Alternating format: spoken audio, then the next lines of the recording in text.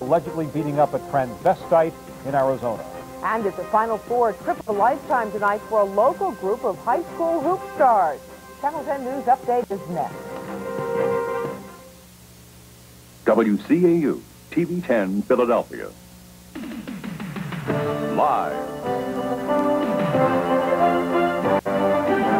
Larry Kane, Diane Allen, Herb Clark, Ron Burke, and the Channel 10 News Team. Going after short jumpers in the city of Philadelphia. Celebrating the end of a car insurance surcharge in New Jersey. And a slap on the wrist for Frank Rizzo and his campaign for mayor.